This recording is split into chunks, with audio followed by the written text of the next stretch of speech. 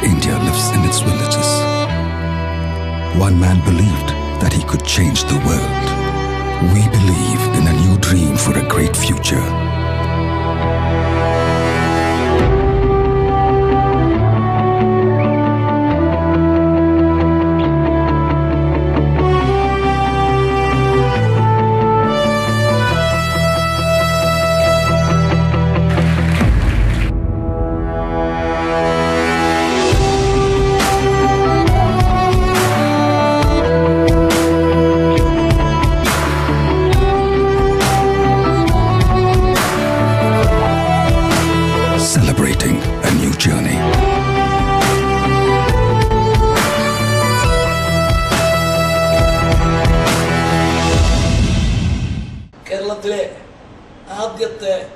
സംരംഭകത്വ ദിനത്തിലേക്ക് നിങ്ങളെല്ലാവരെയും സ്വാഗതം ചെയ്യുന്നു.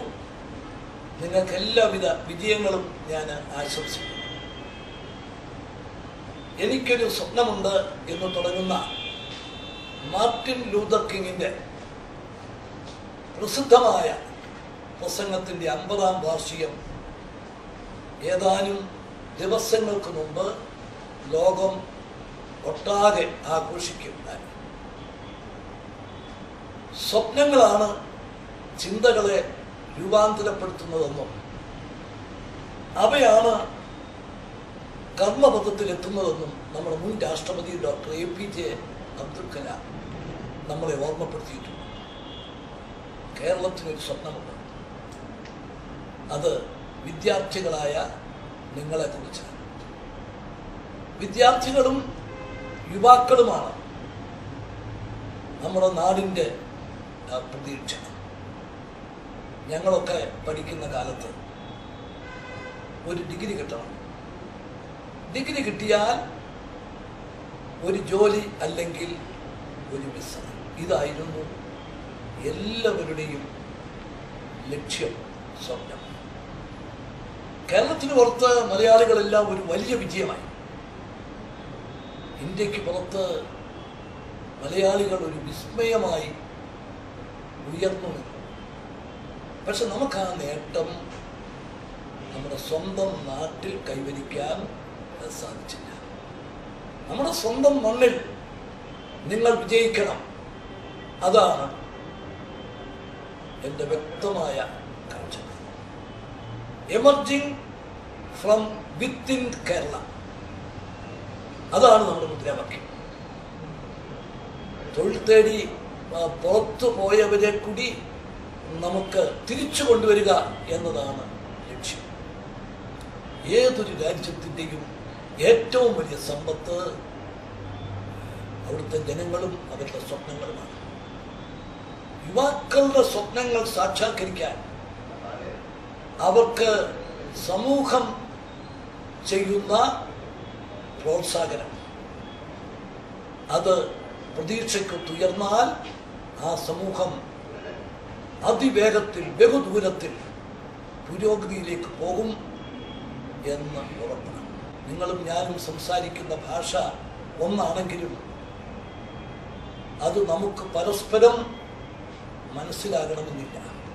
അതുകൊണ്ടാണ് ഞാൻ കഴിഞ്ഞ നവംബറിൽ സ്റ്റാർട്ടപ്പ് വില്ലേജിലെത്തി അവിടുത്തെ യുവ സംരംഭകരുമായി സംസാരിച്ചത്.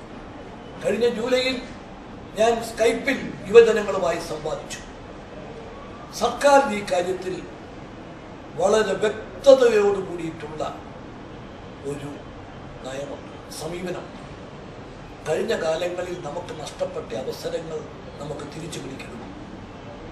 നമ്മുടെ ചെറുപ്പക്കാരെ ഈ നാട്ടിൽ നിന്ന് വിദേശത്തേക്ക് കയറ്റി അയച്ച ആ കറുത്ത ദിനങ്ങൾ ഇനി ആവർത്തിച്ചുണ്ടാകും ഇതേ തുടർന്നാണ് രണ്ടായിരത്തി പന്ത്രണ്ട് സെപ്റ്റംബർ പന്ത്രണ്ടാം തീയതി എമർജിംഗ് കേരളയിൽ സ്റ്റുഡന്റ് എന്റർപ്രണർഷിപ്പ് പോളിസി ഗവൺമെന്റ് പ്രഖ്യാപിച്ചത്. ആ പ്രഖ്യാപനം കേരളം കാത്തിരുന്ന ഒന്നായിരുന്നുവെന്ന് അതിന് ലഭിച്ച സ്വീകരണത്തിൽ നിന്നും എനിക്ക് മനസ്സിലാക്കാൻ സാധിച്ചു. ആയിരക്കണക്കിന് യുവാക്കളാണ് ആ പ്രഖ്യാപനത്തിൽ താല്പര്യം പ്രകടിപ്പിച്ച് മുമ്പോട്ട് വന്നു ആയിരത്തിൽ പരം യുവാക്കൾ പുതിയ ആശയങ്ങളുമായി മുമ്പോട്ട് വന്നിട്ടുണ്ട്. കേരളം ഉള്ളിൽ നിന്ന് തന്നെ എമർജ് ചെയ്യുന്നു എന്നെനിക്ക് അതിൽ നിന്ന് ബോധ്യപ്പെട്ടു. അത് ആ സാഹചര്യത്തിലാണ് കഴിഞ്ഞ സ്വാതന്ത്ര്യ ദിനത്തിൽ ഞാൻ നിങ്ങൾക്ക് വേണ്ടി ചില പ്രഖ്യാപനങ്ങൾ അതിന്റെ തുടർച്ചയായി ഇനി മുതൽ സെപ്റ്റംബർ പന്ത്രണ്ട് സംരംഭകത്വ ദിനമായി കേരളം ആചരിക്കും. വിദ്യാർത്ഥി സ്വയം സംഭ- സംരംഭകർക്ക് ഇരുപത് ശതമാനം ഹാജരും നാല് ശതമാനം ബോണസ് മാർക്കും കൊടുക്കുമെന്നുള്ള പ്രഖ്യാപനം അത് ഗവൺമെന്റ് അംഗീകരിച്ച് ജിയോ ആക്കി മുഖ്യമന്ത്രിയുടെ വെബ്സൈറ്റിൽ അത് ഇട്ട് കഴിഞ്ഞു. അതോടൊപ്പം എനിക്ക് വളരെ പ്രധാനപ്പെട്ട മൂന്ന് കാര്യങ്ങൾ നിങ്ങളെ അറിയിക്കാനുണ്ട് സംസ്ഥാന ബഡ്ജറ്റിന്റെ ഒരു ശതമാനം യുവ സംരംഭകർക്കായി ഓരോ വർഷവും മാറ്റിവെക്കുന്നതാണ്. അതായത് അഞ്ഞൂറ് അധികം കോടി രൂപ ഓരോ വർഷവും ഇതിനു വേണ്ടി മാറ്റിവെക്കും. ഇന്ത്യയിൽ ആദ്യമായിട്ടാണ് ഇത്രയും വലിയൊരു തുക. ചെറുപ്പക്കാരായ സ്വയം സംരംഭത്തിന് വേണ്ടി മുമ്പോട്ട് വരുന്നവർക്ക് വേണ്ടി മാറ്റിവെച്ചിട്ടുണ്ട് ഇതിനെക്കുറിച്ചുള്ള വ്യക്തമായ ഒരു നയരേഖ ഉടനെ തന്നെ ഗവൺമെന്റ് തയ്യാറാക്കി പ്രഖ്യാപിക്കുന്നതാണ് കഴിഞ്ഞൊരു വർഷക്കാലം ഐ ടി രംഗത്തും ടെലികോം രംഗത്തുമാണ് യുവ സംരംഭകർ മുമ്പോട്ട് വന്നതെങ്കിൽ ജീവിതത്തിന്റെ എല്ലാ തലങ്ങളിലേക്കും ഇത് വ്യാപിപ്പിക്കാനാണ് ഗവൺമെന്റ് ഉദ്ദേശിക്കുന്നത്.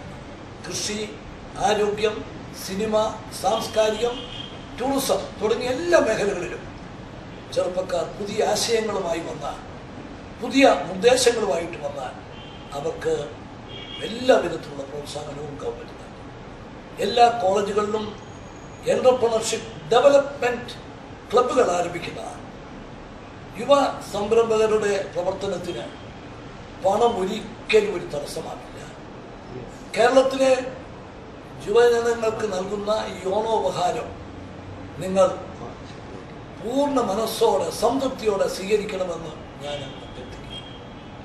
ഐശ്വര്യപൂർണമായ സമൃദ്ധമായ ഒരു കേരളം. അതുപോലെ തന്നെ സംതൃപ്തരും ആത്മവിശ്വാസമുള്ളവർ ഉള്ളവരുമായ യുവാക്കൾ ഉൾക്കൊള്ളുന്ന ഒരു കേരളം. ഇതാണ്